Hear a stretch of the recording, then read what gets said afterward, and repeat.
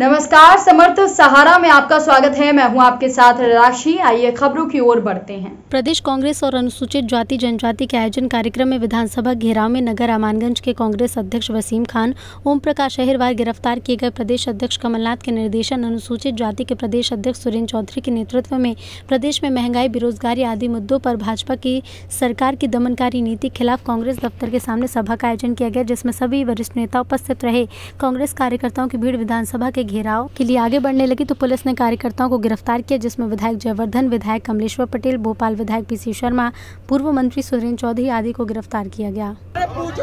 साथियों, आज हम लोग अनुसूचित जाति के प्रदेश अध्यक्ष आदरणीय सुरेंद्र चौधरी जी के आह्वान पर हमारे नेता आदरणीय कमलनाथ जी के नेतृत्व में आज भाजपा की जन विरोधी सरकार के खिलाफ आदिवासी हरिजन दलितों के ऊपर हो रहे अत्याचार के खिलाफ आज हम विधानसभा खिलाफ करने के लिए जा रहे थे।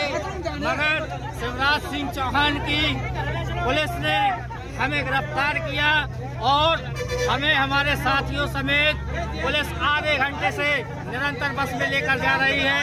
हमारे द्वारा पूछा जा रहा है कि हमें किस जेल में लेकर जाया जा रहा है। लेकिन हमें जानकारी नहीं दी जा रही है। शिवराज सिंह चौहान ये कान बोल कर सुन ले कांग्रेस का कार्यकर्ता डरने वाला नहीं है। आपकी जितनी भी जेलें हो जेलें कम पड़ जाएँगी लेकिन कांग्रेस ही कम नहीं पड़ेंगे। जय जय कमलनाथ। जय जय कमलनाथ।